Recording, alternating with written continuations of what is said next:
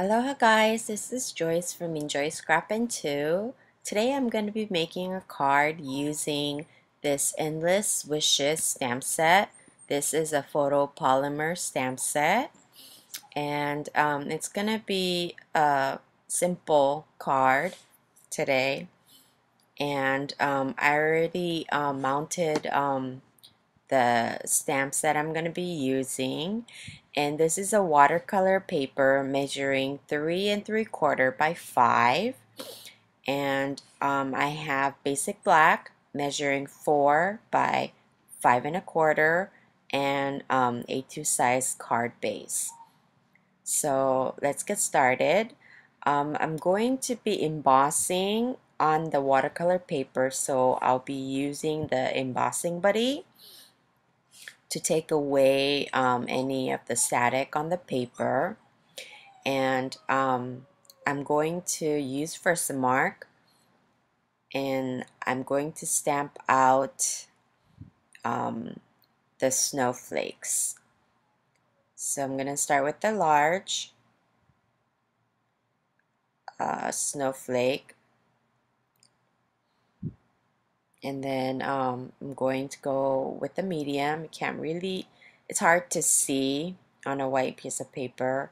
Um, this is the medium um, size and then the smallest size um, snowflake. And I'm going to be embossing this with a white embossing powder. So here is my uh, white embossing powder. And then put it on the entire card. Card front. And I don't know if you can see the white on it. It's kind of hard white on white. And I'm going to be um, using uh, water on this later so I'm going to um, zap it with the heat gun. Here I am just um, using the heat gun, kind of um, preheating it and then um, putting, trying to heat the white embossing paper pa um, powder. So you can kind of tell that um, it's finished when it kind of turns shiny.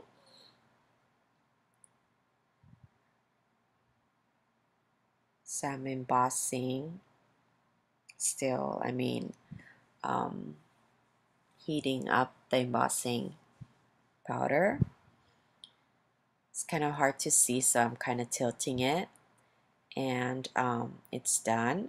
And so now I have a clipboard here and um, I'm going to be taping down the sides using uh, a washi tape any uh, washi tape or you could use painter's tape. Um, I just want the um, paper to lie flat because I'm going to be adding a lot of water to this paper. So I want just a slight um, border can't really call it a border. I just um, putting just enough so that the paper will stay down.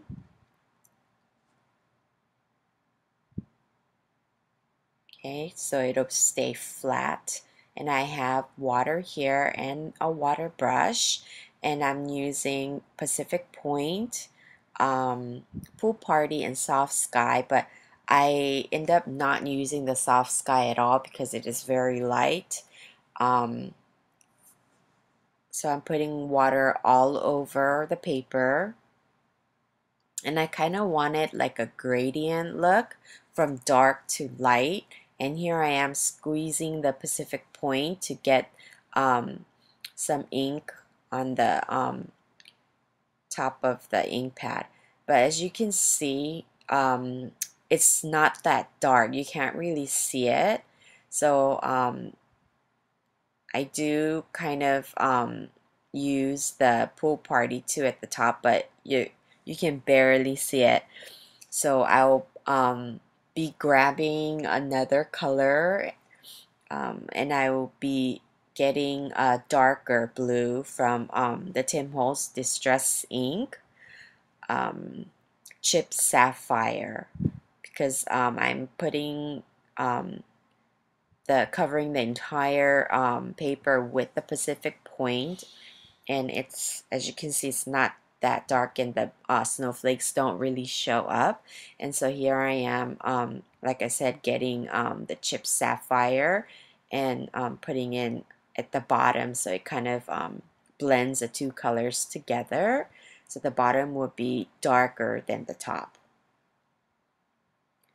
and um, there's some water puddles on the edges and I kind of um, am soaking it up with the towel because I don't want uh, puddles of water at the edge. And here I am drying the um, paper and when because it's taped down um, and the watercolor paper usually warp a little so that's why um, I taped it down so then it'll stay um, more flat so I'm drawing um, the colors and you can see the snowflakes um, better now and the two colors from the dark to the light, um, the gradient look. So I'm going to be taking off the washi tape very gently so it doesn't rip uh, my watercolor paper. You can use anything that's kind of flat um, and there you can see um, the snowflakes, the white embossed snowflakes. Um, so I'm getting um, my black piece and my card base and I'm going to be um, adhering it down uh, using um, the Tombow multi um, Tombow mono multi glue and layering it to the black piece.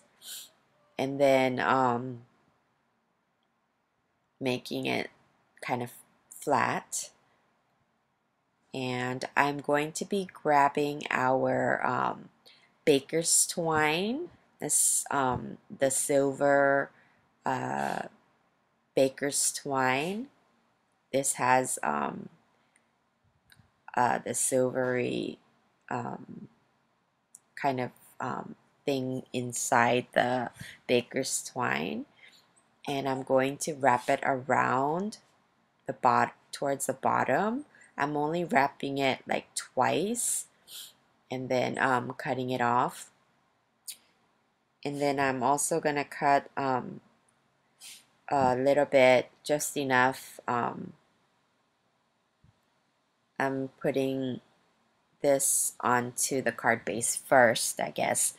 And then I'm going to be tying a bow. So I'm cutting off a small uh, piece, just enough for me to tie the bow. And um, I kind of went through um, under the baker's twine that's already there. And so I'm kind of tying it on to the existing um, baker's twine. So. And I um, this is a watercolor paper too a strip maybe an inch of um, watercolor paper that I already um, stamped and embossed it in black uh, embossing powder. And here I am I'm trying to just add a little bit of color not too much to the um, the banner as well for our greeting and as you can see it kind of warped because I put um, too much water. And so I'm going to be um, drying it with the heat gun again. And it dries pretty fast. And I'm going to put it um, about here uh, putting dimensionals on the back. Oh before that I'm kind of edging um, putting ink on the edges with the Pacific Point I just used the um, ink pad instead of using like a sponge because I didn't have a sponge um, near me. So I took off the dimensionals and I'm just adhering it down. So this is my card for today. Um, it's not quite as I wanted it to be. Like I wanted it to be a little bit darker, but this is okay. So thank you for watching.